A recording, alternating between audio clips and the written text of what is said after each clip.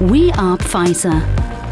Our medicines and vaccines offer hope, and hope changes lives. Today, more than 5,000 talented people help develop, manufacture and distribute medicines at our four sites in Belgium.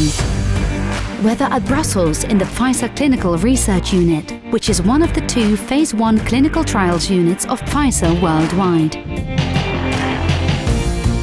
Or at Puurs, in our aseptic manufacturing site, where safety and quality are the backbone of our activities, day or night, week or weekend.